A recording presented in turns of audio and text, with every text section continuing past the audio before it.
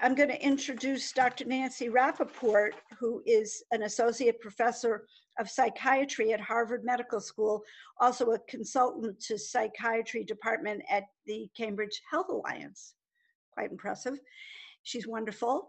And um, we're just so thrilled to have you here today, Nancy. So here is Dr. Nancy Rappaport. Good morning. We are going to be talking about strengthening our resilience in an uncertain time, practical strategies and inspiration for you and your family.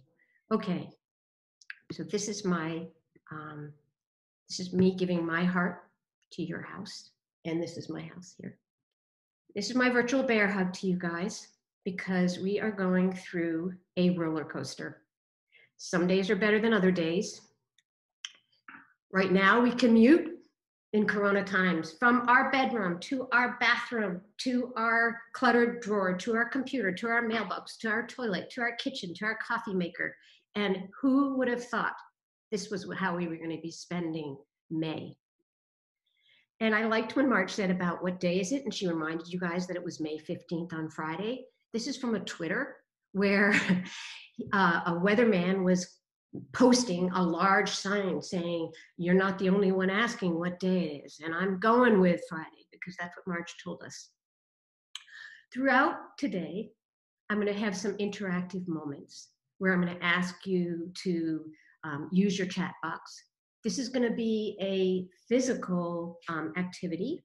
Um, I'm first, I now realize you all know where the chat box is, but I wanted to get the code of the MPY code uh, the first two digits out of the way. So I'm just going to take one second to ask you to put in a small letter S and then a capital L. And now I can't see people doing that, but um, Marge, are you seeing them fly? Yes. Uh, someone asked, where do you do this? You do it in the chat box you put in those initials and now lots of people are doing that.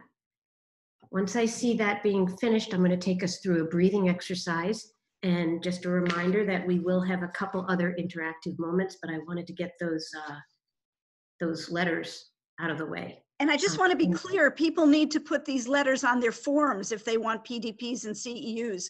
I mean, it's great that you're all putting them in the chat oh. box right now, but that isn't going to I'm get, sorry. Is that won't get to see, you know, see. I'm sorry. I thought it was supposed to go in the chat box. No, no oh. that's okay.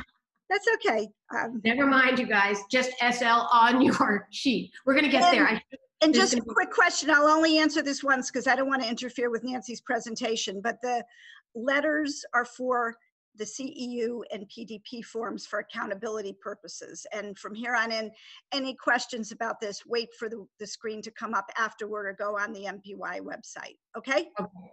Thanks. And Nancy is only going to give you these two now. Four will come at the end, so don't keep saying, I missed the third, I missed the fourth. You'll get it at the end. Okay? Okay. Great. Bye. So I don't know about you all, but I heard Marge had a nail in her wheel and had to go outside to take care of it. I am uh, getting through this technological challenge, but I thought if we could just take a moment now in our interactive moment and get grounded for a um, a whirlwind tour on what I think are very important elements of resilience. So I'm going to ask you to take your hands, put them underneath your belly, and um, just we're going to take three breaths just to ground us, to get us ready for um, two hours of learning. And we're taking a breath, inhale. Now we exhale. Now we inhale. Now we exhale. Now we inhale. Now we exhale. Yay. Okay.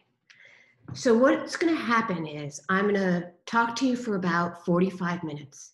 And during that time, I'm going to share with you thoughts that I have about resilience. I want to give you a little bit of my background. I know Marge introduced me, but I'm a child psychiatrist who has worked for 23 years in public schools. I have worked on safety assessments, which are assessments on kids and trying to figure out whether they are um, safe to be in school and how we can improve their functioning in school. I've also worked for 20 years in a school based health center, and I run the Harvard Medical School Mental Health Conference, in, uh, which is now going to be in January 2021. And I'm the author of a book called The Behavior Code. And I'm so thankful that MPY asked me to put these thoughts together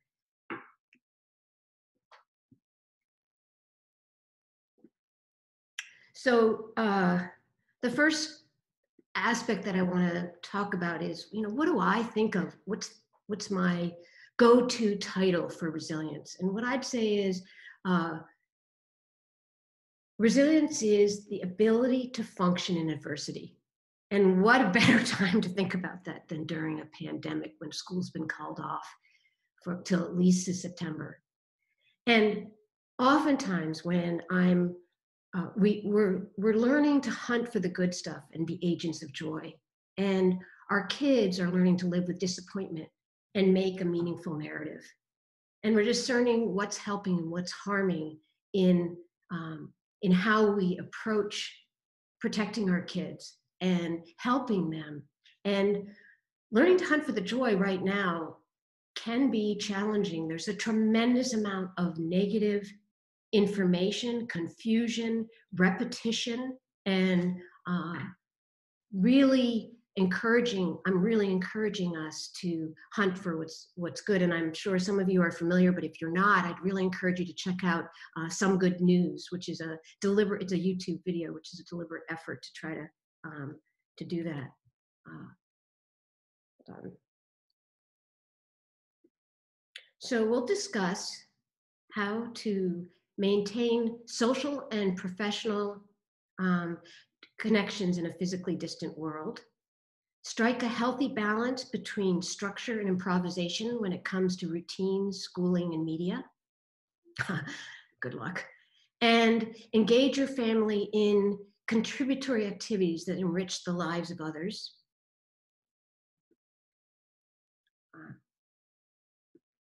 And validate our children's questions and worries, especially when they're facing emotions and um, showing emotions in challenging ways. And cultivating productive coping strategies and managing counterproductive strategies. And um, supporting students with a history of trauma and challenging behavior. And um, that's really been my specialty is thinking about uh, those of our children, our students who are vulnerable.